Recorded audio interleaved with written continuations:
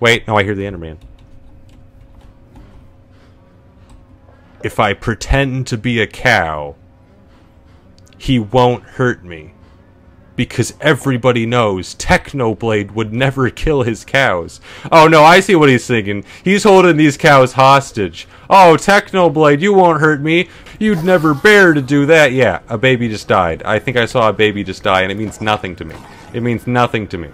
You thought I had a shred of mercy in this soul? Die! Thanks for the pearls, moron.